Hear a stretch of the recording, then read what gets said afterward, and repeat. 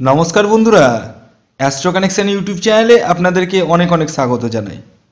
বন্ধুরা, রাহু ও কেতুর তাণ্ডবে দু হাজার একুশে এই সাত রাশির জাতক ও জাতিকারা হতে চলেছে মালামাল।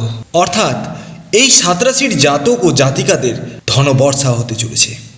তো আসুন জেনে নেওয়া যাক, কোন সেই সাত সৌভাগ্যশালী রাশি যারা রাহু ও কেতুর তাণ্ডবে হতে চলেছে কোটিপতি। নমস্কার, আমি কল্যাণ রায়। শুভস্য শীঘ্র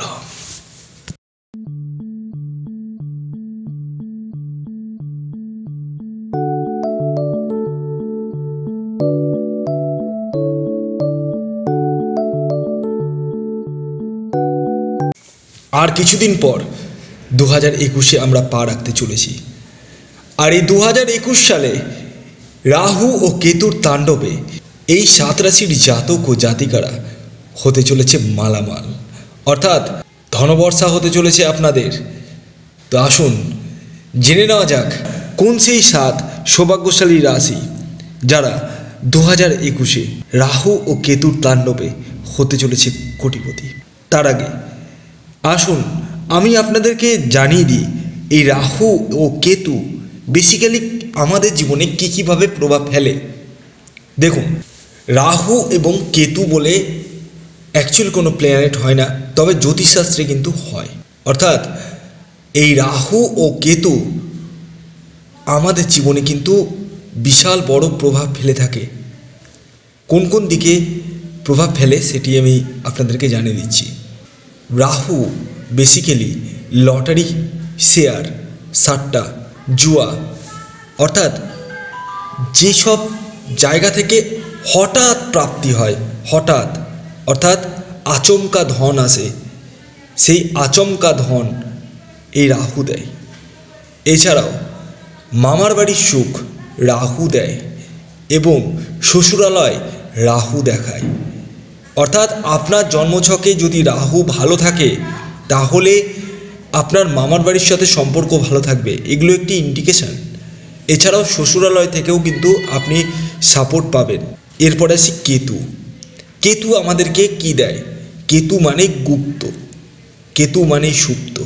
অর্থাৎ কেতু আমাদের জীবনে যাই গুপ্ত, যাই সুপ্ত, তাই দেয়।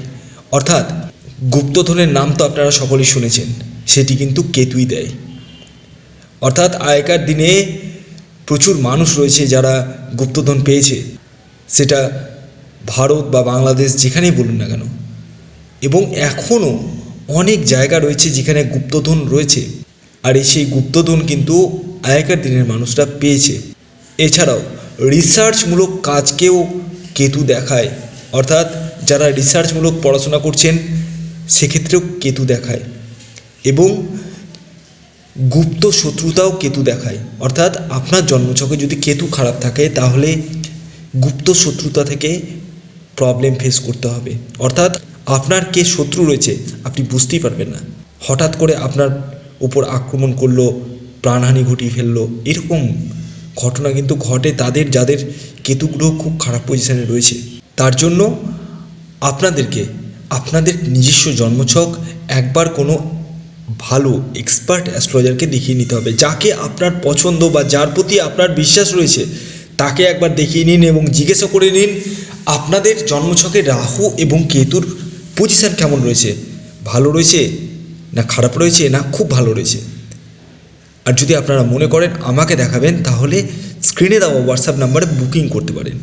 একটি বিষয় আপনারা মাথায় রাখবেন, এটি কেবলমাত্র বুকিং নাম্বার তাই তারাই কেবল যোগাযোগ করুন যারা জন্মছক বিচার করাতে চান। আর হ্যাঁ এই নাম্বারে কল না করে ডাইরেক্ট হোয়াটসঅ্যাপে যোগাযোগ করুন। অনেকে কল করছেন, আমি আপনাদেরকে হাত জোর করে রিকোয়েস্ট করছি কল রিসিভ করতে আমি পারি না সবসময়। মাঝে মাঝে কল রিসিভ করতে পারি, কারণ আমি ব্যস্ত থাকি, যে কারণে রিসিভ করতে পারি না। তো আপনারা ডাইরেক্ট হোয়াটসঅ্যাপে যোগাযোগ করুন, আমি সেখানেই আপনাদেরকে সমস্ত কিছুই বলে দেবো।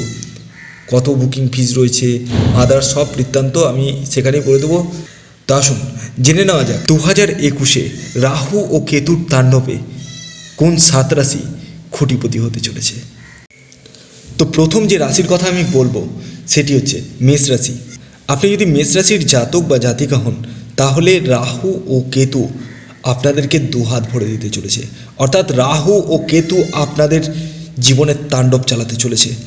যার ফলে আপনারা খুব অল্প দিনে হতে চলেছেন কোটিপতি। এরপরে যে দ্বিতীয় রাশির কথা আমি বলব, সেটি হচ্ছে বৃষ রাশি। হ্যাঁ বন্ধুরা, আপনি যদি বৃষ রাশির জাতক বা জাতিকা হন, তাহলে আপনারাও রাহু ও কেতুর তাণ্ডবে হতে চলেছেন কোটিপতি। অর্থাৎ দু হাজার একুশে আপনারা রাহু ও কেতুর তাণ্ডবে হতে চলেছেন কোটিপতি। সেটা লটারি থেকে বলুন সাপটা থেকে বলুন, জুয়া থেকে বলুন বা গুপ্তধন থেকে যে কোনো উপায়ে কিন্তু আপনারা এই বছর অর্থাৎ দু হাজার একুশে হতে চলেছেন কোটিপতি।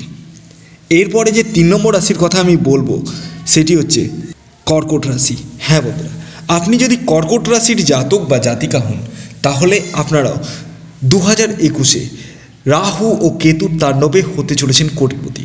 অর্থাৎ আপনাদের জীবনে প্রচুর অর্থ আসতে চলেছে।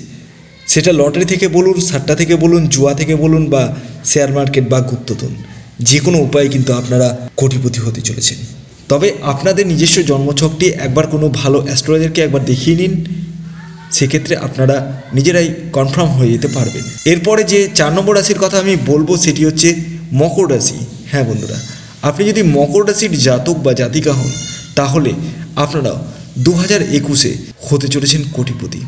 অর্থাৎ লটারি থেকে, সাট্টা থেকে, জুয়া থেকে, শেয়ার মার্কেট থেকে বা গুপ্তধন পেয়ে আপনারা কোটিপতি হতে চলেছেন। তবে আপনারা অবশ্যই আপনাদের নিজস্ব জন্মছকটি একবার বিশ্লেষণ করে নিন, আপনাদের জন্মছকে রাহু এবং কেতুর পজিশান কেমন রয়েছে। এরপরে যে পাঁচ নম্বর রাশির কথা আমি বলব, সেটি হচ্ছে কন্যা রাশি। হ্যাঁ বন্ধুরা, আপনি যদি কন্যা রাশির জাতক বা জাতিকা হন, তাহলে আপনারাও দু হাজার একুশে হতে চলেছেন কোটিপতি। অর্থাৎ আপনাদের জীবনে লটারি থেকে, সাট্টা থেকে, জুয়া থেকে এবং শেয়ার মার্কেট থেকে অর্থ আসতে চলেছে এবং এর পাশাপাশি আপনারা গুপ্তধনও পেতে চলেছেন। তবে আপনাদের জন্মছকে রাহু এবং কেতু কেমন রয়েছে, সেটা একটা বড় বিচার্যের বিষয়।